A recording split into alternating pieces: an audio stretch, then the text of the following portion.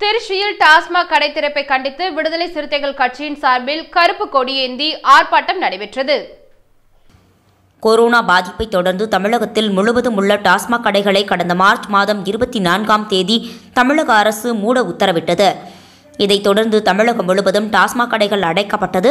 இந்நிலையில் தமிழ்நாட்டை ஒட்டியுள்ள அண்டை மாநிலமான ஆந்திரா கர்நாடகா ஆகிய மாநிலங்களில் திறக்கப்பட்டதால் தமிழகத்தில் இருந்து ஏராளமானோர் அங்கு சென்று மதுபானம் வாங்க குவிந்ததால் தமிழக அரசு இதை கட்டுப்படுத்தும் வகையில் தமிழகத்தில் மதுக்கடை திறப்பதாக அரசு அறிவித்தது.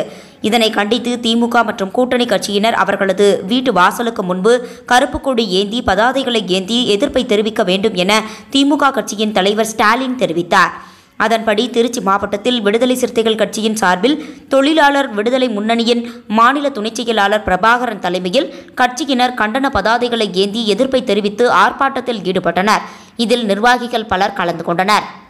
அறம் தொலைக்காட்சி நிகழ்ச்சிகளை தெரிந்து கொள்ள யூடியூப் சேனலை சப்ஸ்கிரைப் பண்ணுங்க. அண்ட் மறக்காம பெல் பட்டனை கிளிக் பண்ணுங்க. அறம் தொலைக்காட்சியை மொபைலில் பார்ப்பதற்கு கூகுள் பிளே ஸ்டோருக்கு சென்று அறம் ஆப்பை டவுன்லோட் பண்ணுங்க.